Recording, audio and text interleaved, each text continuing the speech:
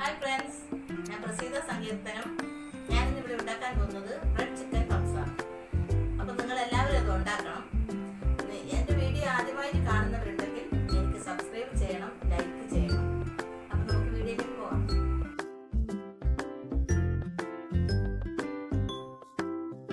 വേണ്ടുന്ന ആദ്യം വേവിക്കേണ്ട സാധനം ഇതാണ്. ഒരു അഞ്ചാറ് കഷ്ണം ചിക്കന്റെ എല്ലില്ലാതെ കഷ്ണം. പിന്നെ അതിലേക്ക് ഒരു കാ ടീസ്പൂൺ മഞ്ഞൾപ്പൊടി.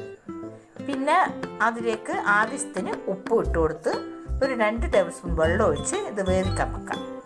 നമുക്കിത് ഗ്യാസിലേക്ക് വെച്ച് കൊടുക്കാം.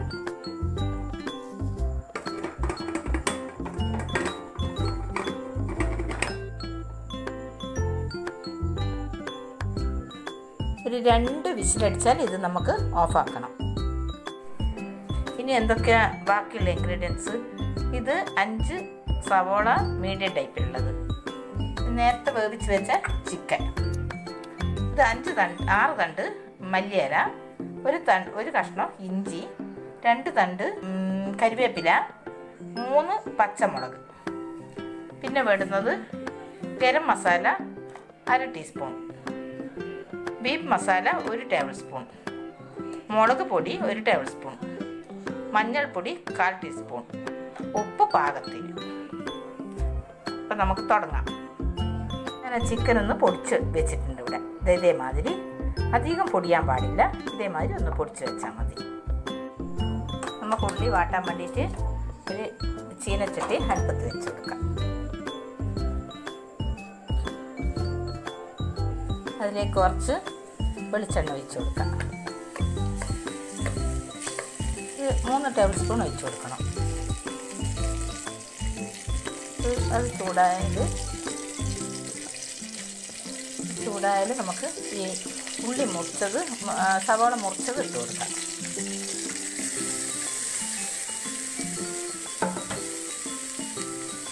സവാളയും പച്ചമുളകും ഇട്ട് കൊടുത്തിട്ടുണ്ട്. അത് നല്ലപോലെ വഴറ്റണം വാട്ടണം.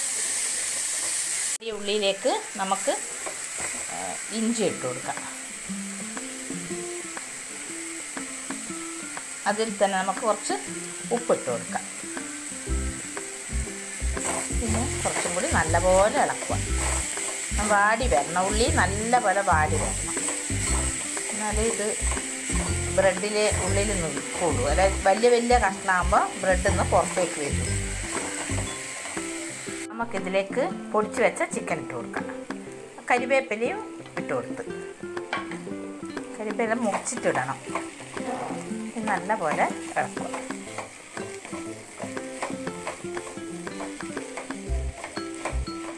രണ്ട് മിനിറ്റ് കഴിഞ്ഞിട്ട് പൊടികൾ ഇട്ട് കൊടുക്കാം. ഇനി നമുക്ക് ഇതിലോട്ട് പൊടികളെല്ലാം ഇട്ട് കൊടുക്കാം. ഇത് ബീഫ് മസാല.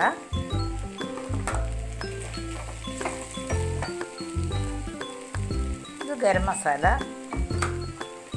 ഇത് മുളക് പൊടി.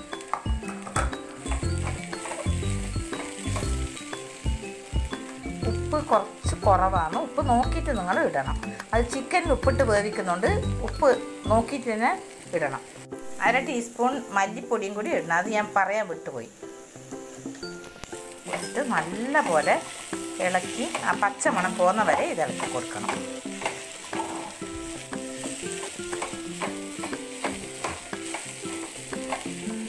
കുറച്ച് തീ സിമ്മിൽ വെക്കണം. എന്നിട്ട് വേണം ഇളക്കി വെച്ചിട്ടൊക്കെ. നമുക്ക് മല്ലിയില ഇട്ട് കൊടുക്കാം.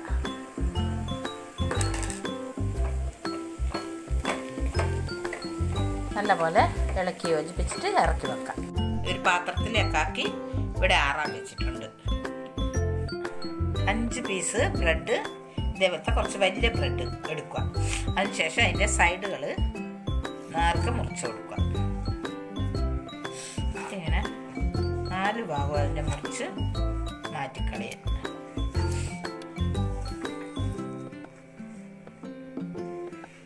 ഇതേമാതിരി ഇതേമാതിരി ഓരോന്നും മുറിച്ച് ഞാൻ ഞാനിവിടെ വെച്ചിട്ടുണ്ട്. ഇതിലേക്ക് നമ്മൾ ഇതാ ഇത്ര തിളച്ച വെള്ളം തണുപ്പിച്ചിട്ട് ഒരു പാത്രത്തിൽ ഒരു കപ്പ് വെള്ളം ഒഴിക്കുക. അതിനുശേഷം ഈ ബ്രെഡ് ഇതിലിങ്ങനെ പ്രസ് ചെയ്യുക. രണ്ട് ഭാഗവും പ്രസ് ചെയ്തിട്ട് പെട്ടെന്ന് എടുക്കണം. എടുത്തിട്ട് ഇതിങ്ങനെ ആക്കുക അല്ല ആ വെള്ളം ബാക്കി വാർന്നു പോകണം പോയി കഴിഞ്ഞതിന് ശേഷം ഇതിലേക്ക് ഇതിലേക്ക് ഈ മസാല കൊരി വെക്കുക മസാല ഇതേപോലെ വെച്ചിട്ട് ഇത് പ്രസ് ചെയ്യാം. ഇങ്ങനെ പ്രസ് ചെയ്യാം. അപ്പോൾ ഇങ്ങനെ വരും. എന്നിട്ടൊന്ന് അരുവെല്ലാം ഒന്ന് നല്ല സ്റ്റൈലായി കൊടുക്കുക എന്ത് സാധനം തിന്നുമ്പോൾ സ്റ്റൈലും വേണ്ടേ? നല്ല ഗുണം ഉണ്ടാവും അപ്പോൾ അതെല്ലാം ഒന്ന് നല്ല വക്കൊക്കെ നല്ല മിനുസപ്പെടുത്തി കൊടുക്കുക. അതിനുശേഷം ഇത് എണ്ണയിൽ വറുത്തെടുക്കാം നമുക്ക്. ഇങ്ങനെ ഓരോന്നോരോന്നായിട്ട് കുറച്ച് അഞ്ചെണ്ണം ആക്കി വെക്കാം. അതിനുശേഷം വറുത്ത് കോരിയെടുക്കാം ഇതേമാതിരി ഇതിലേക്ക് ഇങ്ങനെ ആക്കി പപ്സ് പോലെ ആക്കി എടുക്കാം.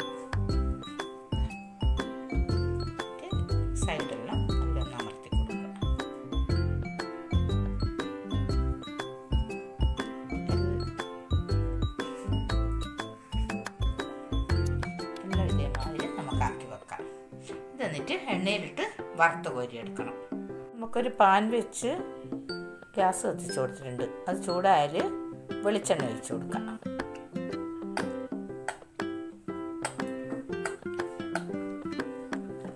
ഇത് ചൂടാകുമ്പോൾ നമുക്ക് പപ്സ് ഇട്ട് കൊടുക്കാം. ഈ റസ്ക് നമുക്കൊന്ന് പൊടിച്ചെടുക്കാം. ആ നാല് റസ്ക്കാണ് ഉള്ളത്. ഇത് ഒന്ന് പൊടിച്ചെടുത്തിട്ട് വരാം. റസ്ക് ഇവിടെ പൊടിച്ച് വെച്ചിട്ടുണ്ട്. ഒരു മുട്ട ഈ പാത്രത്തിലേക്ക്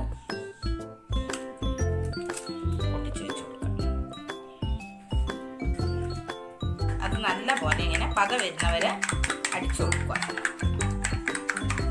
ഇനി നമുക്ക് ഇത് ഓരോന്ന് എടുത്തിട്ട് ഈ മുട്ടയൊന്ന് മുക്കി കൊടുക്കുക.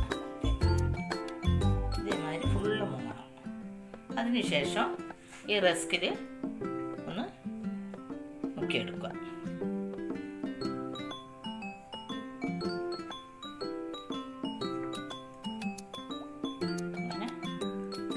മുക്കിയെടുത്തത് ഓരോന്ന് എണ്ണയിലേക്ക് ഇടുക.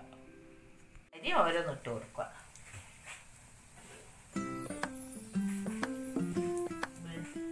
ഓരോന്ന് ഇതേപോലെ വറക്കുക. മറിച്ചിട്ട് കൊടുക്കുക. ഓരോന്ന്. ശേഷം അതുപോലെ നമുക്ക് ബാക്കിയുള്ളതൊക്കെ ഇതേപോലെ